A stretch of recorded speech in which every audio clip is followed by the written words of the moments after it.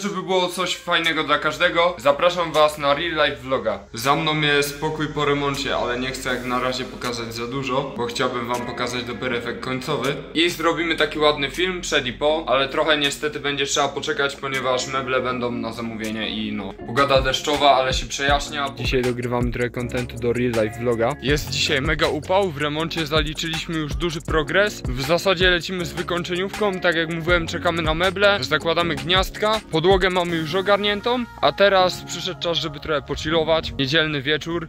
Idę do ziomeczków. Co tam u was? Nie wiem. Witam szanowne zgromadzenie. Musimy zjeść.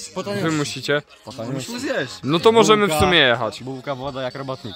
No woda, bułka. Dużo serów. Ty, a może ja przetestuję dzisiaj dietę Popeja? Zobaczymy. Nie, czy dasz radę. Dzisiaj będę testował dietę Popeja, bo mąż już to robił i ja też miałem to robić już dawno, ale tak wyszło, że zapomniałem. Jaką ty Popej masz dietę ulubioną? Proszę ci. Najtańsze serki. Bułeczki i najtańszy ser biały, co nie? No tak. Yy, tak, będziemy jechać pojazdem translubowym. Rzadko jeżdżę liniami 600, ale czasem trzeba.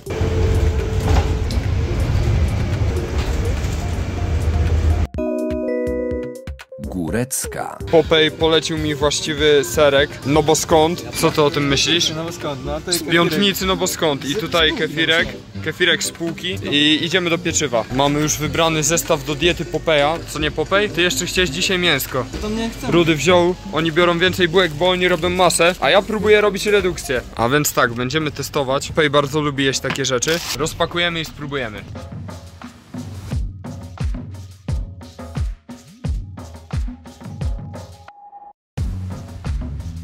Widzowie, bardzo dobre. Bardzo dobra bułka z twarożkiem. Dieta. Myślę, że polecam. Żałuję, że nie znałem tego sposobu wcześniej, ponieważ z twarożkiem smakują dużo lepiej niż na sucho. Także myślę, że będę tak robił. Fajna sprawa. Bardzo dobre ciepłe bułeczki, co nie? A ty co sądzisz?